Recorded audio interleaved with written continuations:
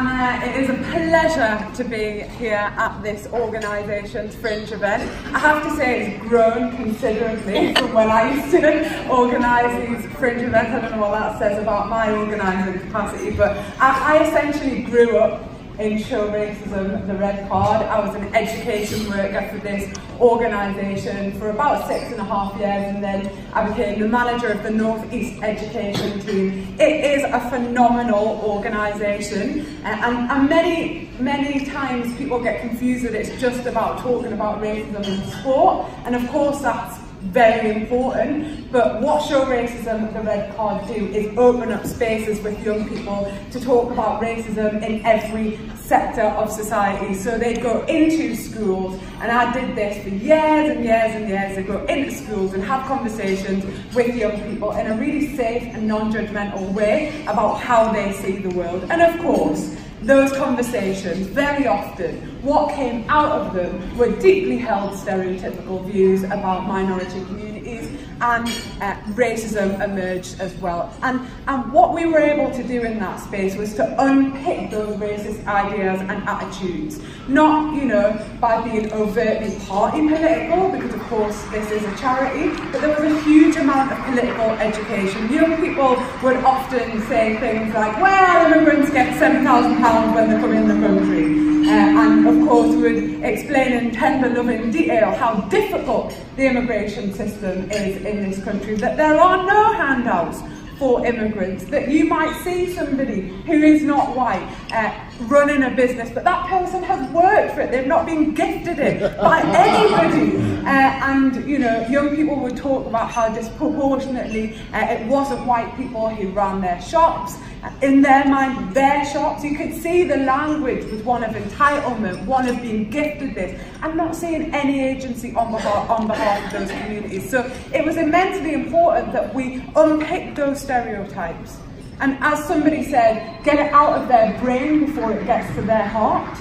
And with young people, you can certainly do that. And some of the work that Show Racism, the Red Card did, working with people who were attracted to the far right, was immensely important because those young people were inspired because of their deep discontent with the system to some of those far right leaders, some of those people that, that exploit the worst of human emotions. And it was our job to say, that actually this country is not an easy ride for immigrants. Immigration contributes a huge amount to this system, but I think as well in the Labour Party, we have to be very clear, and I was never comfortable with this argument myself, that it's not only okay for immigrants to be here if they are serving people, if they are contributing over and above to an economy, that we defend freedom of movement as a right in and of itself.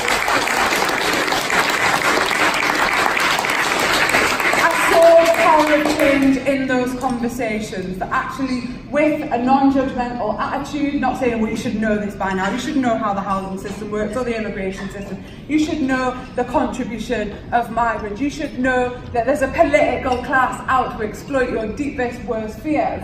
Actually, we just had very non-judgmental conversations which elicited a change in attitude. And young people at the end of some of those workshops would say things like, I cannot believe how much I have been manipulated. I can't believe the way in which I just believed everything. Even my dad said, I say it's okay to absolutely love your dad, but disagree with them uh, on some of the, the things that they might, might believe. And I think I'll just say this about the two fine men uh, that I am in between here. I think, um, Tan, you were an absolute hero in your taking down.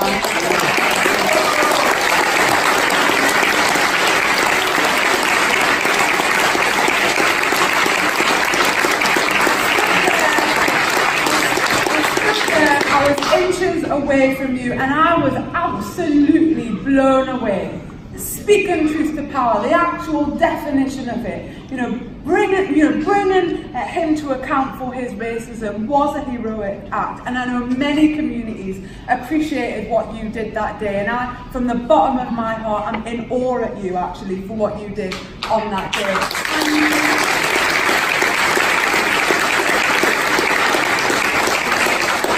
And, to David, for all of the work that you did, speaking up for the Windrush generation and for those uh, people who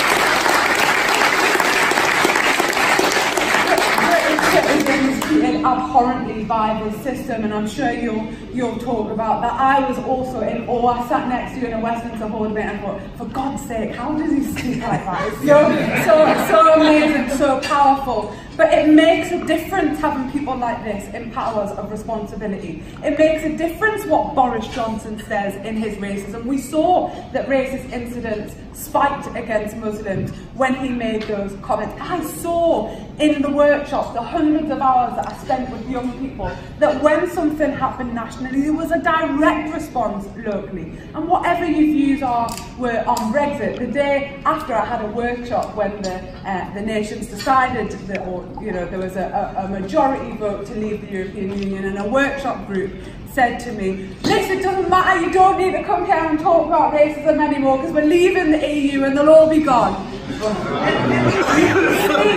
you, can see, that the interpretation, the interpretation, how the far right had manipulated that, how they had made it about immigration, seeped into the consciousness of young people. And I'll say this, I am currently Shadow Secretary of State for Employment Rights.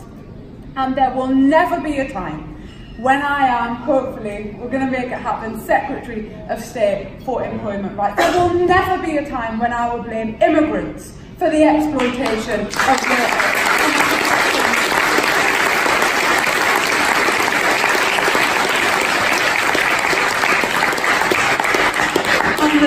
Suppression of wages because it is not immigrants who are a threat to the minimum hourly rate of pay. It is exploitative bosses that do that, who seek to undermine those national agreements, who know they can divide communities between the migrant workers and the British workers. That has to come to an end because every single worker in this nation will be valued by a Labour government. We will call an end to exploitation for all workers and we'll do that through sectoral collective bargaining. So whether you're a Polish worker or somebody from Consett, you will be on the same pay terms and conditions and that will be enforced.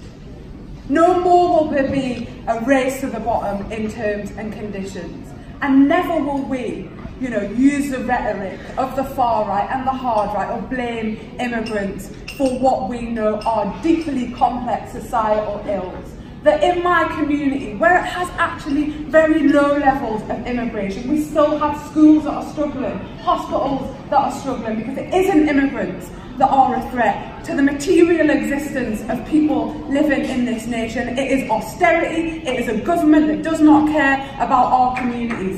And actually,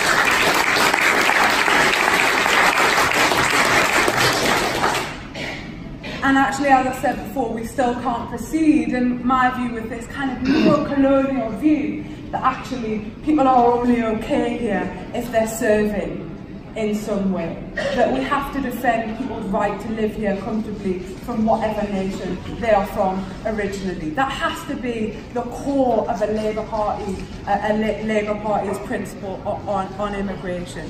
Now, I'll just end by saying this. I think we are at a really dangerous point in history and we're at a really dangerous point because I have seen and I'm sure other uh, members of parliament on this panel and you know uh, you are a public figure as well Tim and you will have seen the way in which Boris Johnson has emboldened the far right.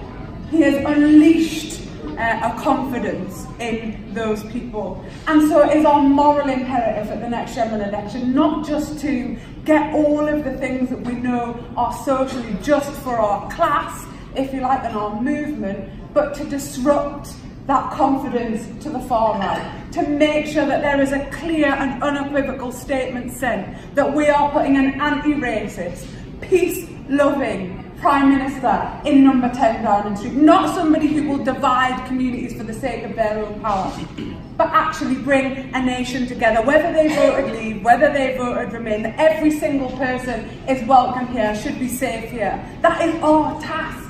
That is the task ahead of us. And Brexit is important. Of course it is. But we cannot, we cannot let this opportunity slip from our fingertips to put the most peace-loving man in 10 Downing Street. an anti-racism fighter. You know, he's been on the streets year after year after year. To have the most diverse cabinet, the most passionate Labour government in history. We can't let that slip beneath our fingertips for the sake of every single person in this nation and, and the eradication of racism and oppression. We have to all work together in unity. I absolutely believe it can be done to elect Jeremy Corbyn to number 10 Downing Street. Friends, brothers and sisters, it's a matter of weeks away. Thank you very much.